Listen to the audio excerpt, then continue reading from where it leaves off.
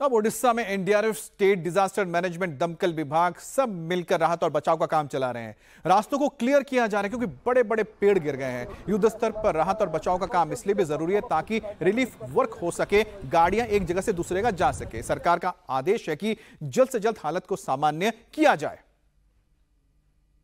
हम लोग इस वक्त है दक्षिण धामरा पे और दक्षिण धामरा पे जैसे कि देखा जा रहा है, एनडीआरएफ के जो टीम है, वो टीम जितने भी पेड़ गिरे थे, उस पेड़ को काटने का जो काम है, वो काम एनडीआरएफ की तरफ़ से किया जा रहा है। जैसे कि ओडिशा में 20 एनडीआरएफ टीम को तैनात किया गया है कि जहाँ जहाँ पर ये डिजास्टर हुआ है चक्रवाती तूफ़ान दाना के कारण वहाँ पर वो पहुँच जाए और मौके पे पहुँच चुका है एनडीआरएफ के टीम और रस्ते पे जितने भी पेड़ गिरे हुए थे, उनको काट कर क्लियर करने के जो काम है, वो काम एनडीआरएफ की तरफ़ से जारी है। और दाना तूफ़ान का असर सिर्फ़ ओडिशा, बंगाल पर नहीं है, बल्कि सात राज्यों पर है।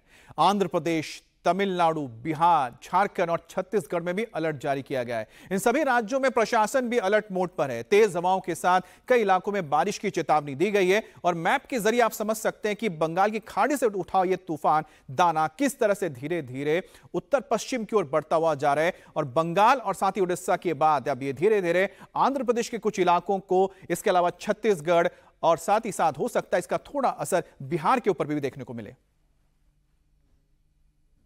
हम लोग इस वक्त पहुँच गए हैं दक्षिण धमड़ा पे और दक्षिण धमड़ा पे जैसे कि देखा जा रहा है, कई सारे पेड़ यहाँ पर गिर गया है। ये गाँव है दक्षिण धामड़ा और यहाँ पर जैसे कि देखा जा रहा है, एक बड़ी सी पेड़ यहाँ पर गिरा हुआ है। सिर्फ़ यही पेड़ नहीं, इसके साथ साथ कई सारे और इसी इलाके में और भी पेड़ गिरा है। जैसे कि ये बड़ा पेड़ जैसे गिरा है तो इसके गिरने की वजह से यहाँ पर एक कच्चा घर था।